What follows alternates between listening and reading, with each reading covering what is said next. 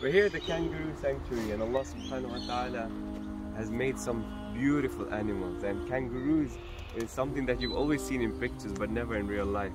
But it makes you wonder how Allah subhanahu wa ta'ala sustains us and animals and Allah subhanahu wa ta'ala says in Surah Al-Furqan that He's sent down water so that it can sustain us and the animals as well. And uh, when you're coming to see animals, it's always important to wonder in the amazing creation of Allah subhanahu wa ta'ala and how He sustains these beautiful animals, including ourselves.